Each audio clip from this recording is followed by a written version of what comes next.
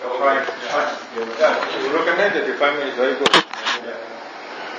Our duty is try to know in the present moment what's going on, whatever.